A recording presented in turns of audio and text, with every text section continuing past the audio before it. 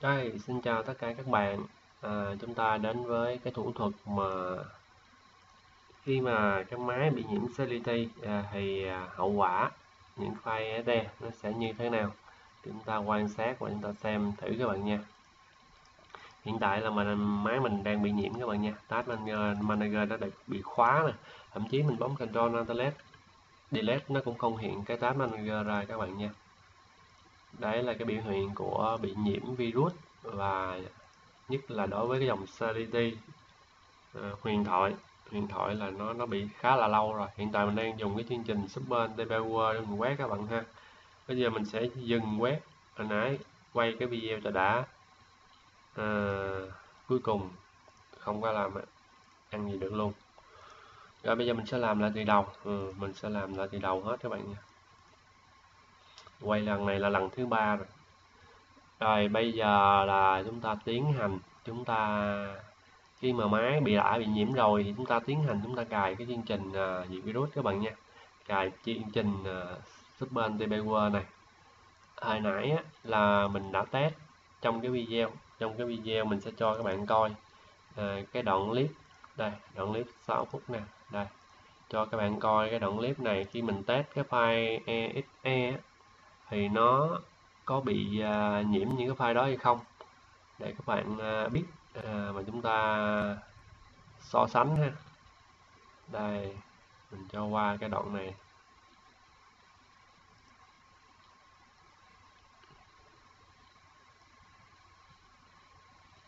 Đó, đó là mình cài cái VMware máy ảo mà cuối cùng là không thấy các bạn nha mà nó cài vô cái chương trình phụ gì đó. Đấy đây các bạn thấy từ cái đoạn này nha đó Task Manager vẫn còn nha. Vẫn còn còn vẫn còn Task Manager xài bình thường. Đấy rồi bây giờ mình đã tiến hành mình lấy những cái file trong cái ổ Z ổ mà 364 g này mình copy ra ngoài desktop. Đó mình copy ra ngoài desktop và mình à, chạy chạy từng file. Chạy từng file thì kết quả là những cái file này nó không có bị nhiễm virus. Đấy mình copy ra rồi mình chạy chạy và mình coi Task Manager chạy mỗi một file là mình coi một lần à, coi nó có bị mất cái à, task manager hay không các bạn nha. Đấy là ok ha các bạn nha. Cái file này ok. Thì các bạn xem những cái file này lát mình ra ngoài laptop thì các bạn sẽ, sẽ thấy. Hiện tại nó cũng đang có những cái file đó. Có đặc biệt cái file à, uh, Gimaget uh, à, dưới cái bút ai này. Đấy cái file này là mình tích hợp. Nó tự tạo ra những cái shortcut của Gimaget những phiên bản khác nhau. Thì khi mình tắt cái nó hiện lên cái nữa nè. Hiện ra các bạn khác à, cái này bạn bạn ấy rồi bạn à, bạn mới nhất 2.2.2 đây cái này là cái file chính mà bị nhiễm file này không bị nhiễm các bạn nha cái file sau cùng mình chạy mới bị nhiễm. File này đó mấy bạn thấy không? Mình chạy là không có bị nhiễm nha. Cái mình vẫn còn bình thường đó vẫn hoạt động bình thường HDD này là ok. Đây là cái chương trình test màn hình à, test LCD đấy các bạn thấy không bị nha. À, keyboard test nè. Vẫn không bị luôn à, nói chung là những cái file này không có file nào bị cả. À, đấy. Không có file nào bị hết các bạn nha. Ừ, cái chương trình này các bạn chắc cũng có biết ha anh thắng giới thiệu nha. À, rất là hay. Rồi à, chúng ta vào cái ổ à, khác để chúng ta test một cái file tiếp tục. Đó là mình dùng cái file hdd khen trong cái ổ đấy. Cái, cái, những cái thư mục này mình đã loại trừ là những cái thư mục chứa những cái file virus mà mình trước đây đã bị nhiễm và đã từng click và đã từng bị mất cái task manager thành ra mình mới uh, mới test. Đấy các bạn thấy không? Cái cái file ghi market nãy mình nói là nó tạo những cái shortcut đó. Mình hãy chung cái thư mục để cho đừng, đừng có bị nhầm.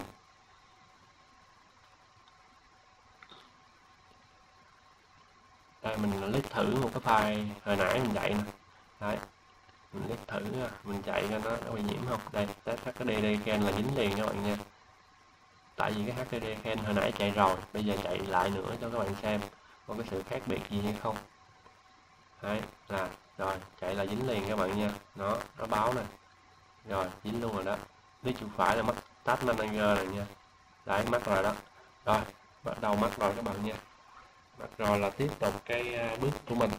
Là mình sẽ xử lý khi mà máy nó bị nhiễm virus, bị à, mắc mất cái tách manager như vậy thì chúng ta sẽ xử lý như thế nào? Thì à, mất cái tách manager như vậy á, thì à, chúng ta thường để ý nếu mà triệu chứng của virus á, mà mình chưa biết xác định là virus nào thì mình nên à, dùng nhanh. Nếu mà có mạng internet các bạn tải nhanh cái Super TB cái này là mình đã tải rồi nó sẽ hiển thị cái trang web sẵn. Mình đã vào rồi các bạn nha. Đây thậm chí mình đã tải rồi Ctrl Z.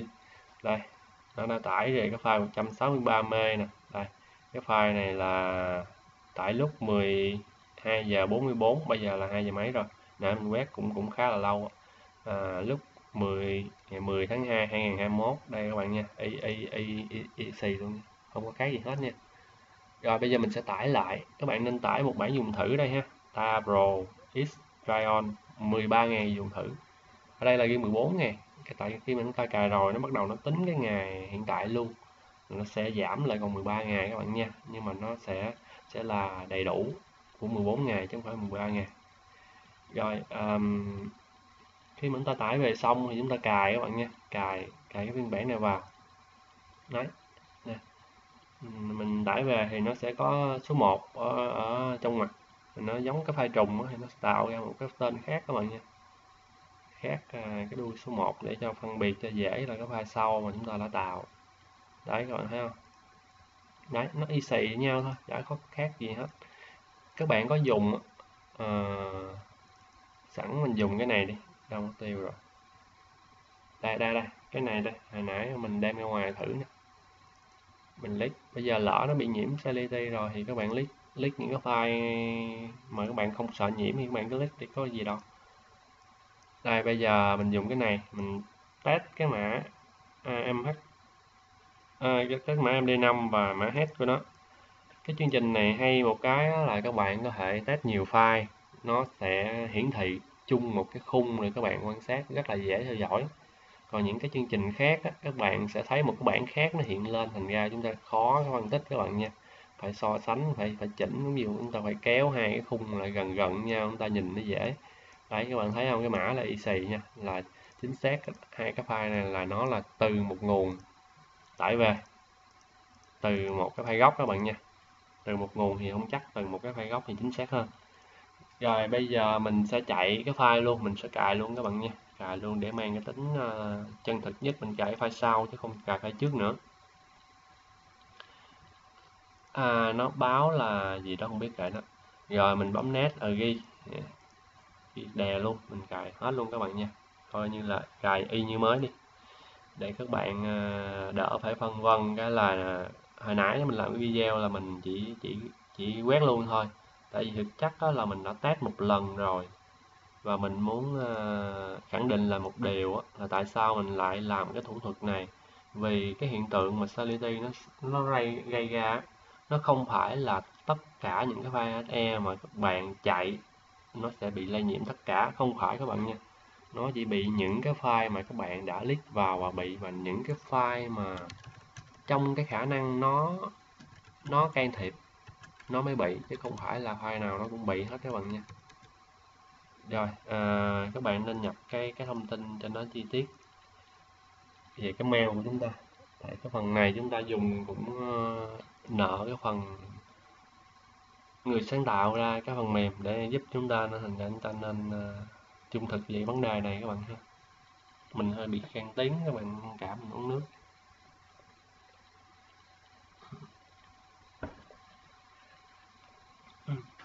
Rồi các bạn click vào mục update, nếu mà update được thì chúng ta update, còn nếu mà báo như thế này every 8 hour, có nghĩa là đã cập nhật sau 8 giờ đó thì thì chúng ta không cần phải cập nhật nữa các bạn nha, để cứ uh, quét thôi. Các bạn chọn vào disk à, uh, can disk computer. Rồi click vào custom can rồi ở đây mình đã chọn ổ C nãy mình quét nè bây giờ mình xóa đi. Rồi các bạn click vào dấu cộng ở đây ha. Các bạn có thể chọn chọn để mình chọn computer nó không cho các bạn nha. Các bạn phải chọn từng ổ. Đây, đó ví dụ mình chọn ổ C rồi các bạn chọn chọn tiếp ổ D ổ E ổ F gì tùy các bạn. Nhưng mà thực chất đó, khi mà cái máy các bạn bị nhiễm virus thì đa phần là ổ C mới là ổ quyết định. Thì các bạn quét ổ C thôi. Chủ yếu chúng ta quét ổ C rồi. Còn những cái cái ổ khác á nó có bị dính hay không á, thì các bạn quét sau cũng được ha. Khi mà chúng ta quét ổ C sạch rồi thì các bạn có thể um, chụp lại bản gót để chúng ta lưu lại cái cái cái win của chúng ta đi. Để mất công nó lây nhiễm những cái cái phiền phức hơn thì chúng ta uh, không xử lý được thì chúng ta bung cái bản win nó ra luôn. Đỡ mất công chúng ta phải quét nó mất thời gian rất là nhiều các bạn nha. Cái việc mà xử lý bằng cái chương trình diệt virus đó là cái việc bất khả kháng chứ không phải là cái việc nên làm các bạn ha bất khả kháng và mình khuyến khích là nên dùng chương trình diệt virus sẵn trong máy. Nếu mà các bạn thường hay dùng cái ờ, Windows Defender à, nói chung là chương trình diệt virus của Windows thì chương trình nó cũng khá là ok rồi. Thì các bạn nên để sử dụng cái đó online hoặc là lâu lâu cập nhật một lần. Mặc dù các bạn tắt update Windows để cho nó máy nó hoạt động mượt hơn nhưng mà các bạn nên uh, tắt update đi nếu mà không dùng bản quyền chính thức hoặc là các bạn không dùng khay à, bản quyền thì chúng ta nên tắt đi các bạn nha. Kể cả Win 7 để cho nó mượt các bạn ha chứ không phải là Win 7 là nó không có bị lắc các bạn nha. Win 7 mà các bạn để tính năng update là nó khả năng nó cũng rất là dễ lắc các bạn nha. Trừ những cái bản quyền mà các bạn à, đã mod mod lại chỉnh cái này cái kia có can thiệp vào, vào hệ thống rồi á thì cái đó mình không không nói không đề cập. Nhưng mà những cái biên bản nguyên gốc của Windows hoặc là những cái bản mà thuần chưa chưa chỉnh sửa chưa can thiệp thì các bạn nên tắt update ha.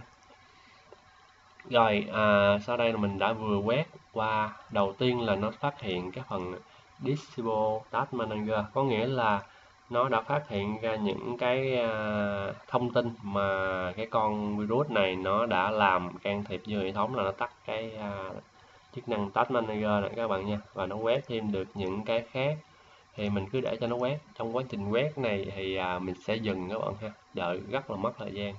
Thì các bạn cứ cứ xem đây bây giờ là 2 giờ 47 phút sáng sáng các bạn nha.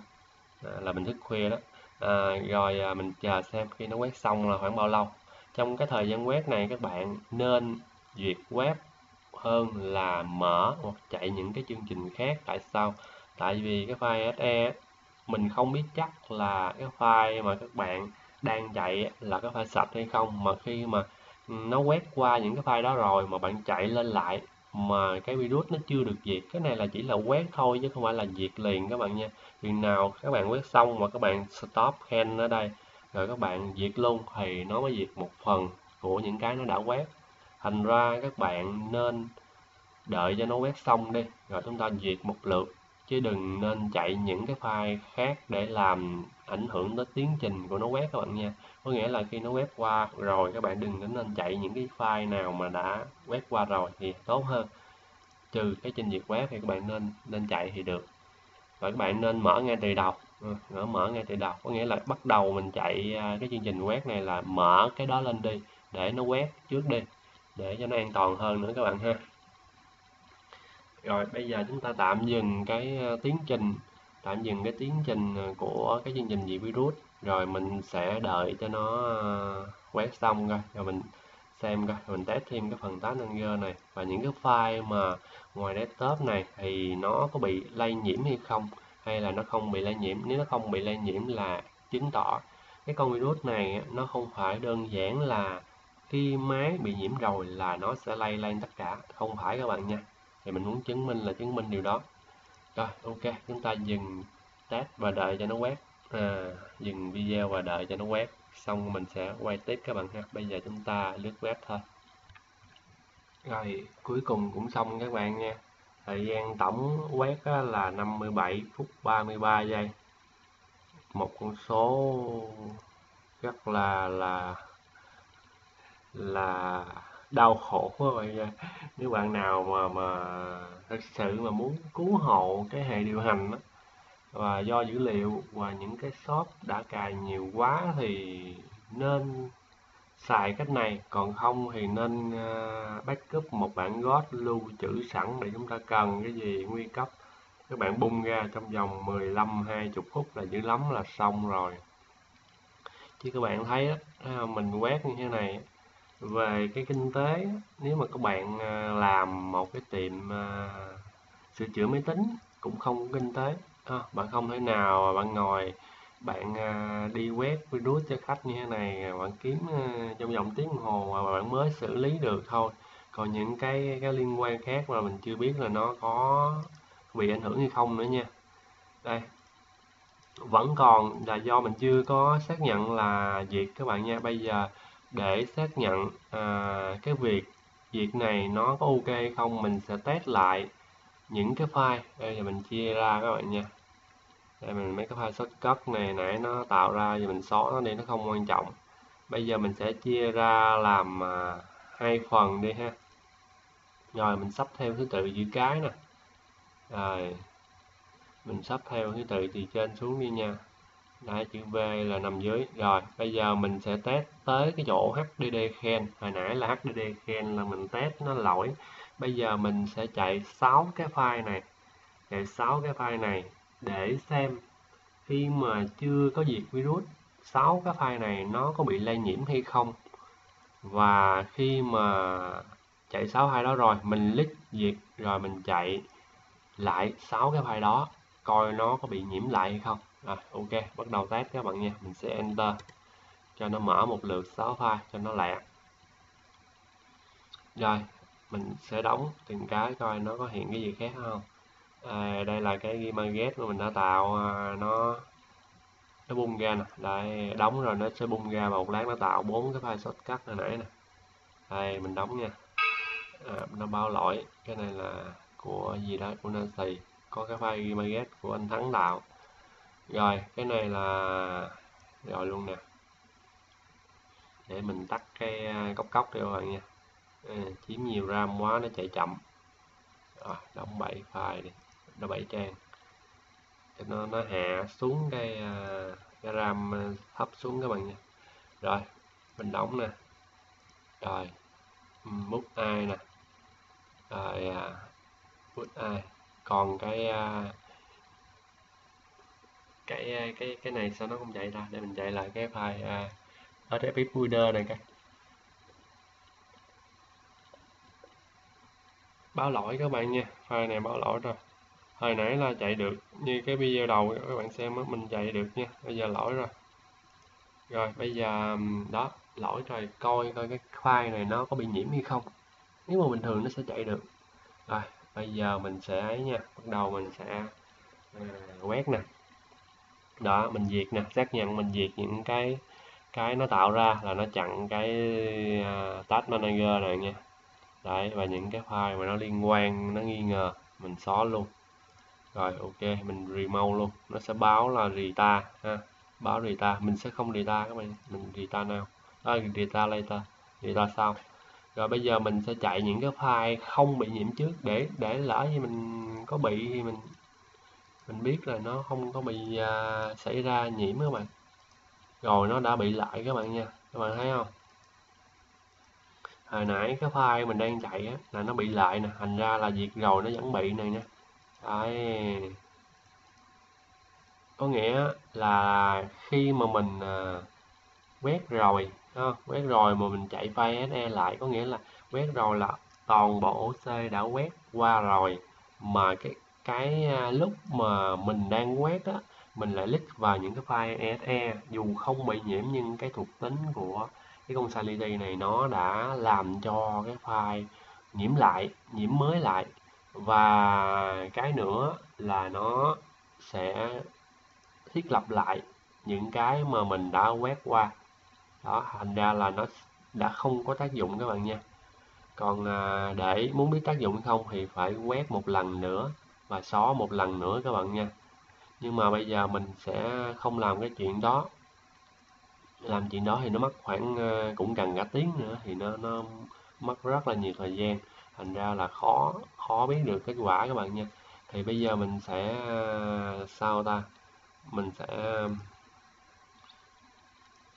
rồi, mình sẽ tắt tắt cái tắt cái này tắt cái video này, và mình sẽ khởi động lại máy, và mình sẽ quay tới video khác, rồi mình ghép video lại thôi các bạn ha. Rồi, ok, vậy đi, còn chỉ còn cách đó thôi. Chứ bây giờ khởi động máy rồi sao giờ?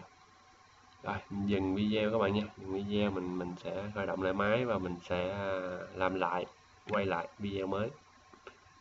Rồi quay tiếp tục các bạn quay tiếp tục từ cái bước cái bước này.